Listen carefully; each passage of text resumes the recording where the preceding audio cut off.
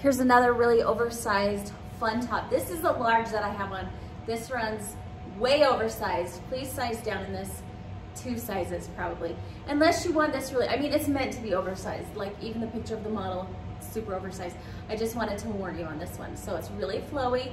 You've got the chevron contrasting stripes, but you've also got this split right here. So it's shorter in the front, longer in the back. Again, this is a large. I'm like a size 14, 16. Larges are never this loose on me.